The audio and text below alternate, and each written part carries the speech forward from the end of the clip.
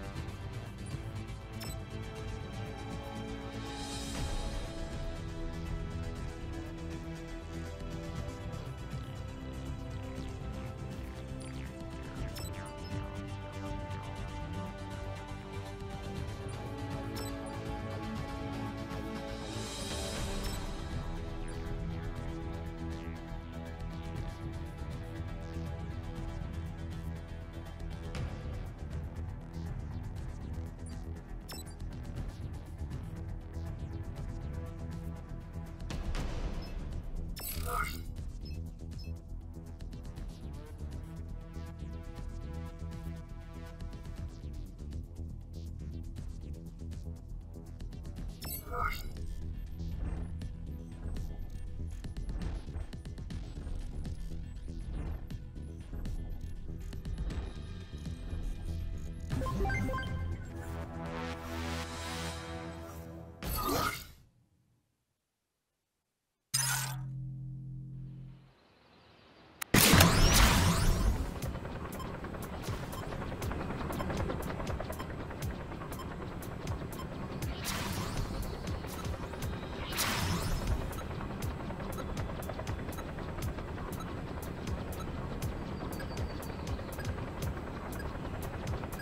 This is Team Deathmatch. Kill the enemy team to win. The first team to reach the target total wins.